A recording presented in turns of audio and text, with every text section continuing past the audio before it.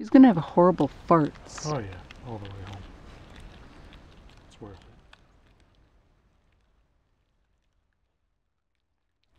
So good stuff. Want some tongue? You like tongue?